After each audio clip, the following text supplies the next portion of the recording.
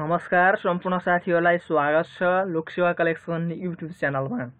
हामीले Lok Sewa collection YouTube channel मार्फत लोकसेवा आयोग शिक्षक सेवा आयोग विविध प्राधिकरण तथा विभिन्न सार्वजनिक संस्थान तथा सरकारी निकायको तयारीमा जुट्नुभएका सम्पूर्ण साथीहरूलाई लक्षित गर्दै सम्भावित नमुना प्रश्नोत्तरहरू समावेश गरिरहेका छौँ। हामीले प्रस्तुत गरेका जानकारीहरू तपाईँलाई कस्तो लाग्दछ कृपया आफ्नो अमूल्य सल्लाह सुझाव कमेन्ट बक्समा कमेन्ट गरिदिनु अनुरोध छ। यदि तपाईँले हाम्रो च्यानल अहिलेसम्म पनि सब्सक्राइब गर्नुभएको छैन भने नजिकै रहेको सब्सक्राइबको रातो बटनमा क्लिक गर्नुहोला र बेल आइकनमा प्रेस गरेर हामीले अपलोड गरेका भिडियोको नोटिफिकेसन सबैभन्दा छिटो प्राप्त गर्न सक्नुहुनेछ। आजको यस भिडियोमा मैले शिक्षक सेवा आयोग लक्षित केही वस्तुगत सामग्री प्रस्तुत गर्न गइरहेको छु। दुई हजार पचहत्तरको नयाँ परिमार्जित पाठ्यक्रम अनुसार शिक्षक सेवा आयोगले चालिस नम्बरको वस्तुगत र साठी नम्बरको विषयगत प्रश्नोत्तर सोध्ने गर्दछ र आज हामीले नमुना प्रश्नोत्तर अनु अन्तर्गत शिक्षक सेवा आयोगको वस्तुगत प्रश्नोत्तरहरू लिएर आइपुगेको छु जसमा चालिसवटा प्रश्नोत्तरहरू समावेश गरेको छु। र यसलाई नमुना प्रश्नोत्तर पनि मान्न सकिन्छ र निकै महत्त्वपूर्ण अति सम्भावित प्रश्नोत्तरहरू समावेश गर्न गइरहेको छु। शिक्षक सेवा आयोग लक्षित प्रश्नोत्तरहरू प्रस्तुत गर्ने हाम्रो सिलसिलामा आजको यो हजारौँ वस्तुगत प्रश्नोत्तरहरू समावेश गर्ने सिलसिलामा आजको यो चौथो भाग हो। यसै तिनवटा भाग हाम्रो च्यानलको प्ले लिस्टमा गएर हेर्न सक्नुहुनेछ। आउन सुरु गरौँ आजको पहिलो प्रश्नबाट। नेपालमा बहुकक्षा बहुस्तर शिक्षण व्यवस्था कहिलेदेखि प्रयोग भएको हो? दुई हजार छेसठीदेखि प्रयोग भएको। निकै महत्त्वपूर्ण प्रश्नोत्तर मान्न सकिन्छ यो बहुकक्षा बहुस्तर शिक्षण व्यवस्थाबाट। त्यसै गरी दोस्रो नम्बरमा रहेको छ हाल बहुकक्षा बहुस्तर शिक्षण व्यवस्था कति जिल्लामा लागू भएको छ? पच्चिस जिल्लामा लागू भएको छ। दरबार स्कुल कसको प्रधान प्रधानमन्त्रीत्व कालमा सर्वसाधारणका लागि खुला गरिएको हो? वीर शमशेरको पालामा खुला गरिएको सर्वसाधारणका लागि। वीर शमशेर प्रधानमन्त्री हुँदाखेरि सर्वसाधारणको लागि दरबार हाई स्कुल खुला गरिएको र दरबार स्कुलको हालको नाम भानुमावि हो। यो पनि जानकारी गराउन चाहे। चौथो नम्बरमा रहेको छ शिक्षक सेवा आयोगले लिखित परीक्षाबाट छदेखि दसवटा रिक्त शिक्षक पद पूर्ति गर्दा अन्तर्वार्ताको लागि कतिजना उम्मेदवारको नाम थप प्रकाशन गर्नुपर्छ। तिन प्रतिशत। प्राथमिक विद्यालयका शिक्षकहरूको सुपरिवेक्षक को हुन्छ। सम्बन्धित विद्यालयको प्रभाव हुन्छ। सम्पत्ति र पारिवारिक मामिलामा दम्पतिको हक हुनेछ। यो वाक्य मौलिक हकको कुन धारामा समावेश गरिएको छ? नेपालको संविधान दुई हजार बहत्तरको मौ महिलाको हकमा समावेश गरिएको छ। निकै महत्त्वपूर्ण प्रश्न हुनसक्छ नेपालको संविधानको मौलिक हकबाट। एक ग्रेड ल्याउने विद्यार्थीको ग्रेड पोइन्ट कति हुन्छ? तिन दशमलव छ हुन्छ। निकै महत्त्वपूर्ण हो यो प्रश्न। ग्रेडिङबाट अक्षराङ्क पद्धतिबाट धेरै क्वेसन सोधिएको अवस्था छ। त्यसैले तपाईँहरूले ग्रेडिङ पोइन्ट हेरेर जान सक्नुहुनेछ। परीक्षामा औपचारिक शिक्षाको ठिक उल्टो अनौपचारिक शिक्षा हो। यो भनाइ कसको हो? अप्सनहरूमा पाउलो फ्रे इलिज र फ्रे कुम्बस लाबेला छन्। अप्सन खको इलिज र फ्रे हुन्। तपाईँको लागि अप्सन पनि दिइएको छ। हेर्न सक्नुहुन्छ स्क्रिनमा। नौ नम्बरमा रहेको छ हाल नेपालमा प्रावि कक्षा एकदेखि तिनमा कति पूर्णाङ्क कायम गरिएको छ? छ सय छ सय पचास सात सय पाँच सय पचास। अप्सन क छ सय सही जवाफ हो। हाल शिक्षा मन्त्रालय अन्तर्गत कतिवटा केन्द्रीय निकायहरू रहेका छन्? छ सात आठ नौ सही जवाफ हो सात क्वेसन नम्बर एघारमा रहेको छ कक्षा दसबाट मात्र एसएलसी प्रश्न सोध्ने निर्णय कहिले भएको हो? कक्षा दसबाट मात्रै एसएलसीमा प्रश्न सोध्ने निर्णय कहिले भएको हो? सही जवाब थियो दुई हजार त्रिसठी साल कार्तिक चौध गतेबाट एसएलसीमा दस कक्षाबाट मात्रै प्रश्न सुन्ने गर्न थालिएको हो। तर दुई हजार त्रिसठी अगाडि नौ र दस दुवैबाट क्वेसन सोधिन्थ्यो एसएलसीमा अप्सनहरू हेर्न सक्नुहुन्छ स्क्रिनमा त्यसै गरी बाह्रौँ नम्बरमा रहेको छ शिक्षण।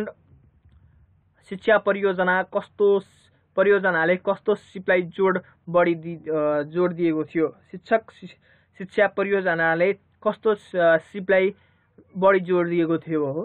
सफ्ट स्किल हार्ड स्किल र both both both of them हो यो। त्यसै गरी नन अफ देम सही जवाब थियो सफ्ट स्किल त्यसै गरी प्रश्न नम्बर तेह्रमा छ तेह्रौँ योजनाले समेटिएको शिक्षा सम्बन्धी प्रमुख कार्यक्रममा तलका मध्ये कुन पर्दैन?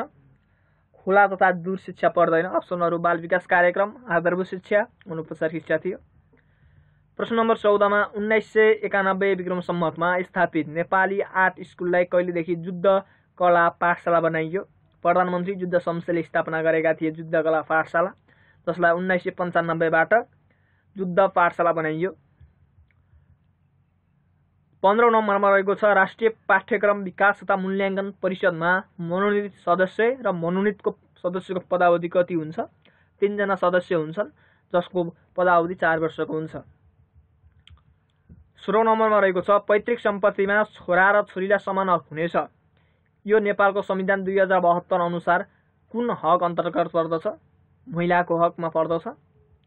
सत्रौँ नम्बरमा रहेको छ जिल्ला अनौपचारिक शिक्षा समितिको अध्यक्षको रहने व्यवस्था छ पर्जीय जिसीय विद्यालय निरीक्षक जीविस सभापति जीविस सभापति रहने गर्दछ अठाउन्न नम्बरमा रहेको छ स्रोत केन्द्र कुन स्तरको शैक्षिक संस्था हो विद्यालय स्तरको शैक्षिक संस्था हो प्रश्न नम्बर उन्नाइसमा रहेको छ गाउँ शिक्षा समितिमा कतिजना पदाधिकारी रहन्छन् सातजना रहन्छन् विषय नम्बरमा रहेको छ उच्च स्तरीय राष्ट्रिय शिक्षा आयोगको प्रतिवेदन दुई हजार पचपन्न अघि कुल शिक्षा बजेटको कति प्रतिशत माध्यमिक शिक्षामा छुट्याइएको थियो? चौबिस प्रतिशत छुट्याइएको थियो शिक्षा को बजेट। त्यसै गरी एक्काइसौँ नम्बरमा रहेको छ राष्ट्रिय शिक्षा आयोगको प्रतिवेदन दुई हजार उनापचास बुझाउने समयमा अध्यक्ष को थिए? गोविन्द राज जोशी निकै महत्त्वपूर्ण प्रश्न हो यो। प्रविधिको व्यवस्थापन अलग्गै हुनुपर्छ। कसले सिफारिस गर्यो? एनइसी दुई हजार उनपचासले गरियो पनि निकै महत्त्वपूर्ण हुनसक्छ। राष्ट्रिय शिक्षा आयोग प्रतिवेदन दुई हजार उनपचासले माविमा कति विषय पढाउन सिफारिस गरेको थियो? सातवटा।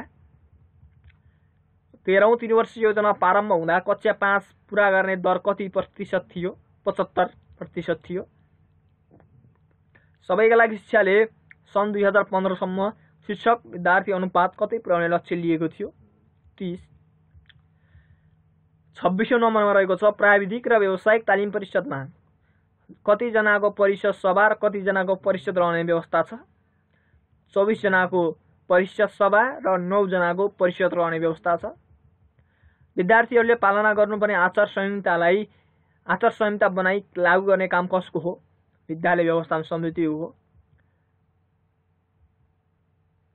अध्यापन अनुमति पत्र परीक्षाको उत्तीर्णाङ्क पचास हुनु हुनेछ भने शिक्षक सेवा आयोग नियमावलीको कतिौँ संशोधनले भनेको छ।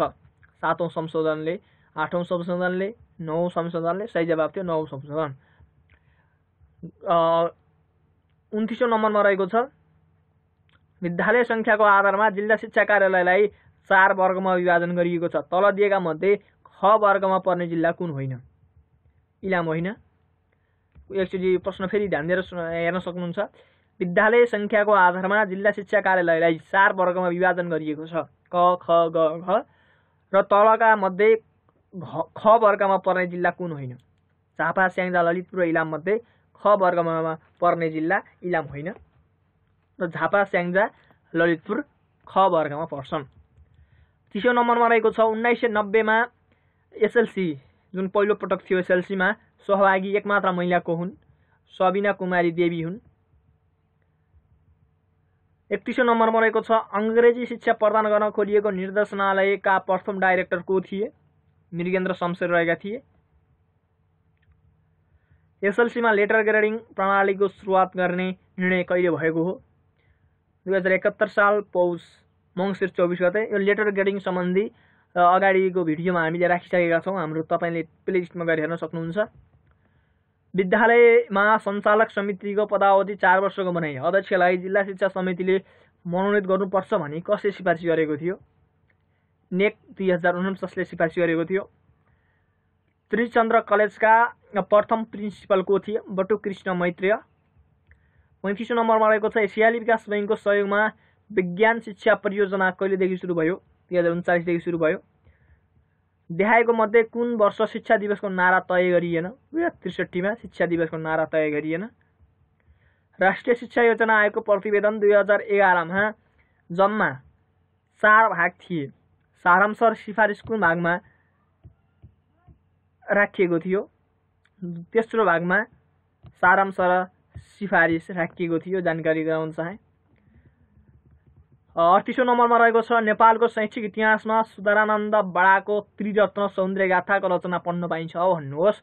उक्त रचना कसको पालामा भएको थियो? राजेन्द्र विक्रम शाहको पालामा भएको थियो। उन्चालिसौँ नम्बरमा रहेको छ आन्तरिक परीक्षाको नम्बर एसएलसी जाँचमा पनि गणना हुनेछ भनेर कसले सिफारिस गरेको थियो?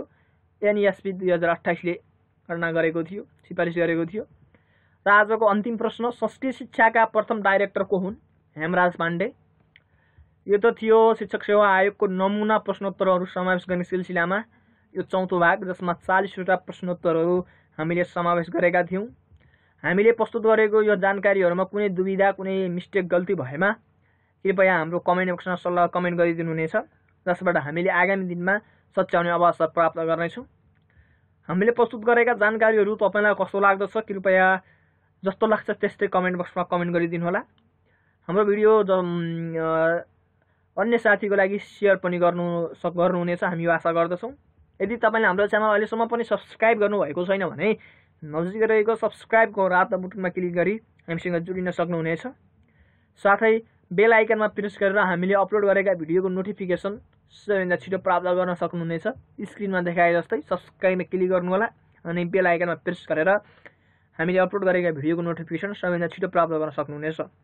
आगामी दिनमा शिक्षक सेवा आयोगसँग सम्बन्धित लोक सेवा आयोगसँग सम्बन्धित तथा समस्त सार्वजनिक सरकारी निकायको तयारीमा जुट्नुभएका सम्पूर्ण साथीहरूको लक्षित गर्दै हाम्रो यो नमुना प्रश्नोत्तरहरू समावेश गर्ने हाम्रो अभियान जारी नै छ आजको यस श्रृङ्खलाबाट हामी सबैलाई आज्ञा दिनुहोस् तपाईँको आजको दिन शुभ रहोस् नमस्कार